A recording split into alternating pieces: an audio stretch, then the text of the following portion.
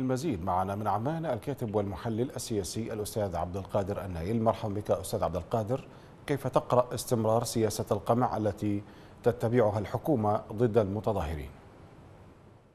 أهلا وسهلا بكم وبمشاهدي قناة الرافدين الفضائية. من المؤكد تماما أن عمليات القمع هي ممارسة حكومية متعمدة ضد المتظاهرين السلميين في البصره وبالتالي ما يفعله محافظها الميليشياوي أسعد العيداني هو من منطلق ميليشياوي في عملية القمع والقتل التي يستخدم فيها القوى المفرطة تجاه المتظاهرين السلميين.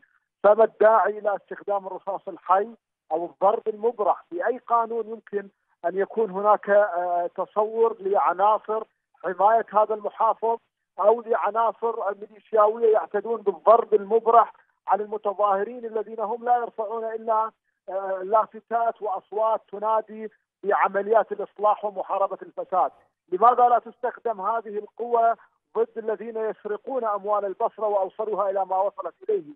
لماذا لا يستخدم صلاحياته في عملية محاسبة الفاسدين؟ لماذا لم يستخدم ميزانية المحافظة في إنقاذ شعب البصرة من السرطانات المنتشرة؟ كل ما يجري حقيقة هو تعمد واضح من قبل هذا المحافظ والإدارة والعقلية الميليشياوية التي تعتمد عليها الحكومة في عموم العراق ومنها البصره في قمع أي أصوات تنادي بعمليات حقيقة الإصلاح وبعمليات التغيير وبعمليات حقوقها المسلوبة فأهل البصره حقيقة اليوم بين نكبة تفريطهم في الحقوق وبين نكبة أخرى وهي تسلط هؤلاء عليهم الذي تمتاز عقولهم بالميليشياوية ولا يعرفون سوى لغة الدم والقتل والاعتقال والإرهاب والترهيب لهذه الناس ولهذه هؤلاء المواطنين.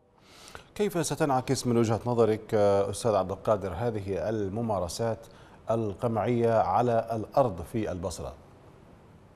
بالتأكيد يعني أهل البصرة معروفون أو معروفين بقوتهم ومشاكستهم ورجولتهم فلا يمكن أن تذهب حقوقهم سدى ولا يمكن للعشائر التي تنتمي إليها أو ينتموا إليها هؤلاء المتظاهرون سواء الذين ضربوا أو الذين اعتقلوا وأهينوا أو الذين تم إصابتهم بالرصاص الحي أن يسكتون عن حقوقهم، لذلك حقيقة من المتوقع أن هذه قضية تذهب باتجاه التصعيد وأهل البصرة لن حقيقة يفرطوا بهذه الحقوق ولن يتراجعوا إلى الخلف وبالتالي نعم سيجمعون قواهم من أجل التحرك مرة ثانية واستمرار التظاهرات وبالتالي انتزاع حقوقهم لأن ليس لديهم اولا طريقا في إنقاذ محافظتهم ومجتمعهم والأجيال القادمة سوى أن يسكتوا وأن ينهضوا وأن يرفعوا صوتهم وأن حقيقة ينوعوا في عملية استخدام الوسائل التي يمكن أن تنتزع الحقوق من تلك الميليشيات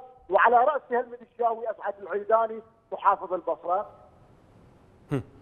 أين الوعود الحكومية؟ إذا أستاذ عبد القادر للبصرة دائما ما يكون هناك وعود بتنفيذ مطالب يعني لماذا تسير الحكومة الجديدة على مسار سابقاتها من الحكومات؟ لأنه كل استمرار العملية السياسية هي مركبة على الفاسدين الذين يسرقون أموال الشعب العراقي.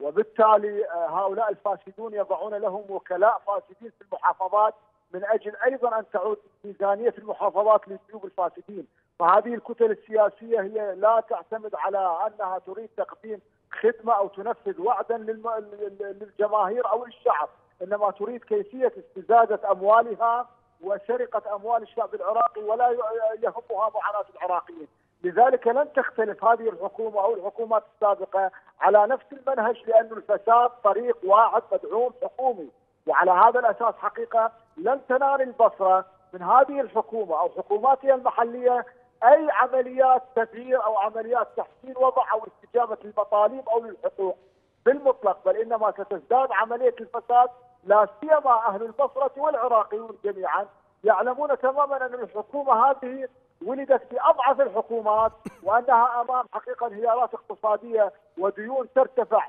من صندوق النقد الدولي وتقييدات كبيرة وبالتالي أمام مشاكل جم لا يمكن لهذه المشاكل أن يفكروا بما لا يريد المواطن البصري أو يوفرون علاج لأمراض السرطان المنتشرة في العراق ولا سيما البصرة التي ترتفع فيها هذه الأمراض. ولا يمكن أن يفكرون في تقليل البطالة. ولذلك حقيقة رأيتم السياسات الاقتصادية هي في انهيار وانهيار وارتفاع نسبة البطالة سنة بعد سنة هذا يؤكد عدم وجود التخطيط الاقتصادي لهذه الحكومة إنما التخطيط الفساد هو الغالب الأعم على الحكومات وحكوماتها المحلية وعلى الكتل السياسية المتصارعة فيما بينها. شكرا لك الكاتب والمحلل السياسي الأستاذ عبد القادر النايل كنت معنا من عمان.